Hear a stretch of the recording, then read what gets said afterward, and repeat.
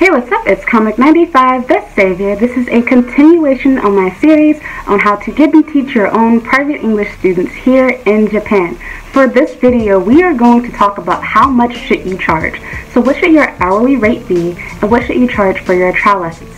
So, this is a very um, complex question, um, so to speak, so I'm going to try to give you my best answer that I can.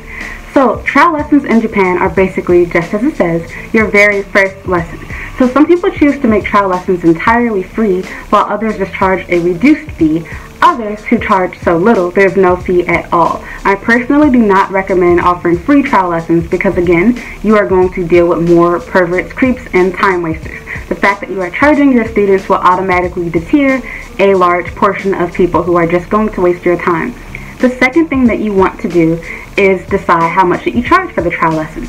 In my opinion, I say that a fair amount to charge and that you should never go under is $10 or 1,000 yen is the absolute minimum that you should charge. This will be more than enough or should be more than enough to cover your train fare as well as, you know, if you do choose to, you know, get something small like a simple drink, you have an extra dollar or so left over to do that. So basically, it's the equivalent of, you know, paying nothing or charging nothing because you're probably going to use all of this money um, just getting there and back. But this way, you're not taking anything out of your own wallet. So everything's being covered except for your time, of course. If you want to, though, and you're experienced with teaching, then I recommend charging $15 an hour or 1,500 yen. I only recommend this if you are an experienced teacher. Can you do this if you have no experience? Yes, but I'll explain why you should or should not later. And again, this is all your own choice. I'm just giving you my own two cents. So, um, I would charge $15 if you have experience teaching and you think you are a good teacher, with emphasis on you think you are a good teacher. So, as far as your hourly rate goes, um, students in Japan normally pay anywhere from about 40 to $60 an hour to get private English lessons at a legitimate um, eikaiwa or, you know, English conversation school.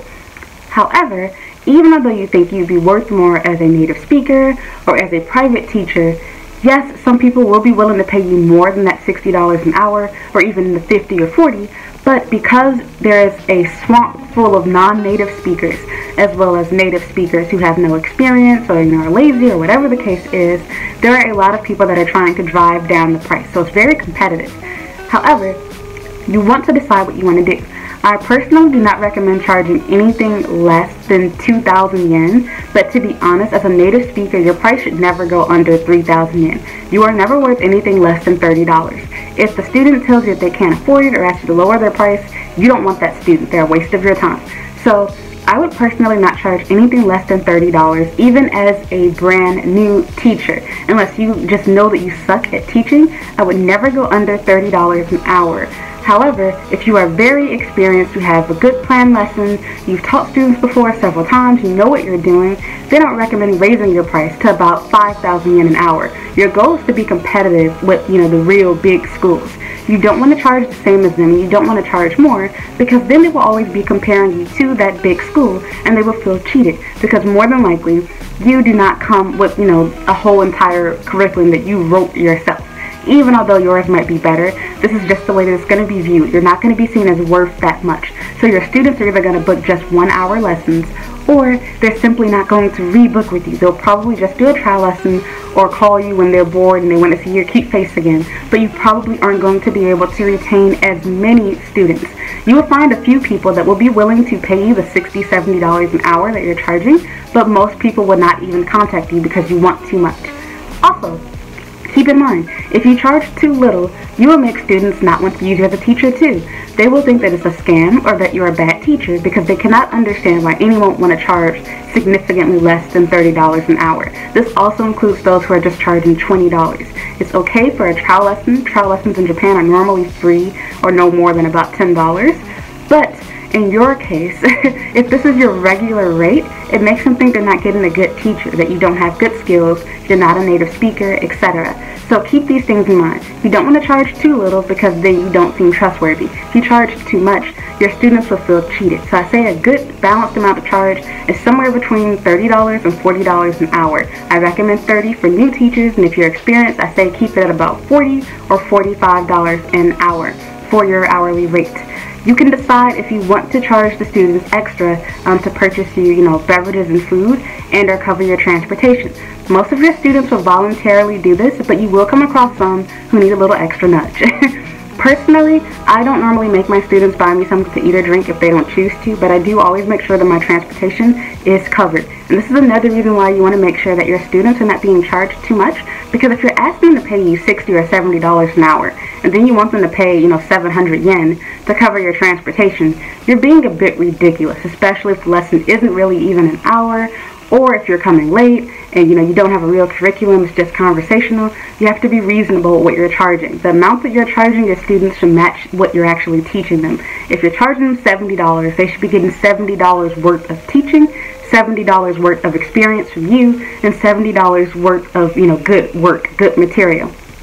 So, um, beyond just that, as far as the distance that you travel, which this should probably be another video, you want to make sure that whatever you're charging for the hourly rate, once again, that it actually covers your train fare. This should automatically be so. So for example, if your student is, you know, really far away and it's costing you a thousand yen to get there and back, you're now cutting your $30 an hour rate. So really you're just getting $20 an hour or 2,000 yen. That's profit, but not as much as it could be. Remember, you have to account for your time on the train, your time to get ready, your time planning the lesson. You want to at least be getting $30 at the end of this. So if I were you, I would charge at least $30 for the flat rate and then have them cover, you know, the transportation separately.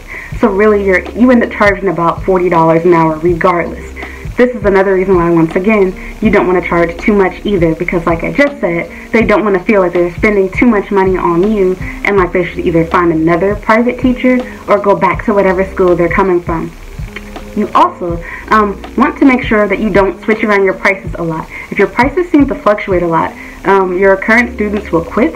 They will normally not be okay with having to pay more. They'll wonder why are you charging more for something they were able to get for cheaper in the past.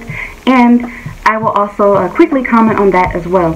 It's okay to start off at a lower rate um, in order to get yourself established, to gain a couple of students, to get experience if you have no experience teaching, but you want to make sure that you use this time to become serious and really um, get into the habit of teaching your own students and learn so that you can charge more.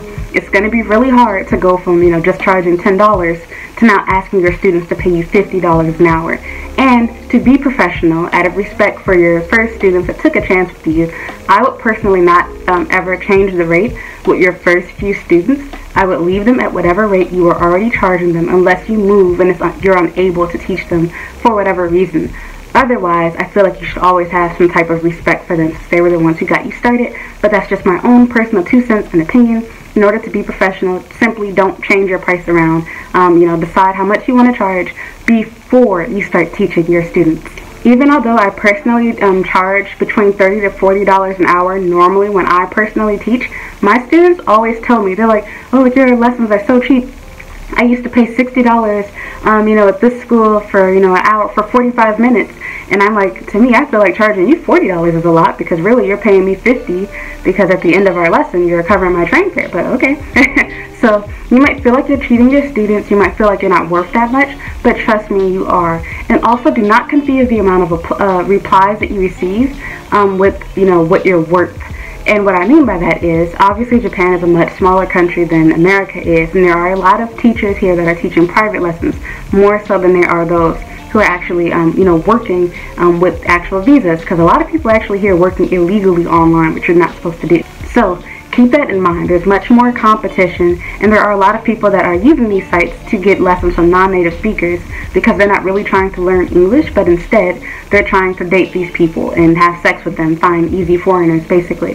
Um, never, ever, ever negotiate your rate with students. You will have people that will contact you and tell you that they used to only pay 1500 with another teacher, or that this other teacher charges, you know, 3,000 yen, while yours 5,000. Do not change your price for students. Once again, you're dealing with somebody who is a time waster, pervert, creep. They're not serious about you. They saw how much your lessons were before they booked with you. Do not let them change the price later. Plus, what's going to stop them from asking you to change your rate once more? so again, um, you know, stick with, you know, whatever price you chose. Stay with it. You will eventually find students. And don't, um, you know, get it confused. Don't think that because you're not getting students yet or that it's taking a while that you're not going to find one. You don't want to just attract any old students. You only want good students. You want the best students. Someone who's going to be serious. The more you charge, the more serious students that you're going to attract for the most part. People that are trying to waste time, even those that are creeps and perverts, they're generally not going to want to pay a lot of money. They're going to try to get a foreigner for as cheap as possible. And with that said and done, generally the more you charge, the more secure you can be um, with, you know, knowing that you're going to have a decent person, a real and or a good student. You're not going to have a time waster, a pervert, a creep, or anything else like that. So do not let someone, you know, try to convince you that you're worth less because they can get a lesson from someone else. Tell them, hey, that's nice. Maybe you should contact that other teacher. That's not me. It's not normal for Japanese people to negotiate even in Japan. They know it's rude and disrespectful, but they think they can get away with it, um, you know, through you, talking to you, especially if you happen to not be a native speaker. As a native speaker, you should already know better that you're worth more than 15 or $20 an hour. So do not settle for anything less than $30. And even if they're offering you $30, if your rate is 35 or if your rate is 40, do not go down from that rate. I have literally had people who had money. I had a woman who was her she was the wife of a doctor who was filthy rich. She lived very close to the train station. She had a gigantic her apartment was basically a penthouse, I think. Huge, very beautiful, nice apartment. It had, you know, card entry. There wasn't even a house key. She could talk to doors. So it was just really weird and super futuristic. And her child was just two years old. And I was teaching, you know, play play kitty lessons or whatever. And she did not feel like I was worth I was only charging $30 because she was a kid, so she felt like I was not worth that much. So she was okay with paying for the trial lesson, and after the trial lesson, she tells me, she's like, oh, you know, look, can we lower it to 2,000 yen? Like, you know, I'm just asking you to play with her. Like, you don't have to, you know, plan any lessons. And so I told her, like, I do not negotiate my lessons. They're not for negotiation. I, you know, charge this much for that. That's the lowest I'm willing to charge. And so she's like, oh, well, you know, I guess I understand since you're a teacher. Like, okay, I'll be all right with that. And so I thought about it later and it was like, you know what? Anyone who even asks or tries to negotiate, I would not ever teach them. I would, you know, just end it right there, apologize to them in advance and tell them that you don't feel comfortable teaching them or that you're not available to them anymore. And the reason being is you want to avoid future problems. You don't want someone to decide they're not going to pay you in the future or to, you know, cancel lessons in the future. And of course, when they find another cheaper teacher, they're probably going to go over to that teacher because they clearly don't value you. They don't care about your degree. They don't care about, you know, your education. They don't care about you as a teacher. They just want someone cheap. They want someone cheap and preferably that's native. And that should not ever be your description. So let that person go, let them be. They want cheap, okay, go ahead and find cheap. I don't take people back after they try to negotiate prices with me. That's it. If they try to negotiate locations, I do the same thing. If I say I'm not going to teach at your house, I mean I'm not teaching at your household, man. so, you know, stick stick with your guns. Don't be afraid. Don't, you know, try to, you know, change your mind to make another student happy. Don't be desperate for money. It looks bad as a teacher, period. But you're also going to, you know, attract creeps by doing this and there's nothing that's going to stop them from trying to lower your rate again in the future. They might say they don't even have their money to pay you today. Then they'll say, oh, can I pay you next week? I'll see you next Friday. Anyway, we always see each other on Friday. So you don't want to put yourself in a position like that. So that said, decide what you want to charge based off of your own experience, what kind of you know materials that you're going to use and teach with, as well as decide, you know, what do you feel like you're personally worth do you feel like you're worth, you know, 50 or $60 an hour, honestly? or if you're being honest with yourself, do you feel like you should be charging less? Keep in mind once again, if your student feels like you're worth the money and then has your lessons, but you're a horrible teacher, they are not going to book you again and they're not going to spread great words about you. You're not going to have a good, you know, recommendation from that student because they're going to be like, wow, I just blew $60 on this moron. He spent the whole time just staring at me, didn't know how to lead the conversation, didn't come with a curriculum, wasn't dressed professionally. It's just going to look really, really bad. So, thank you so much for watching. If you have any questions or comments, please leave them in the comments down below, or you can email any questions that you have to me as well. Um, please like, comment, and subscribe, and I would really appreciate it if you would follow me on Instagram and Twitter. Thank you so much for watching. I'll be making more videos.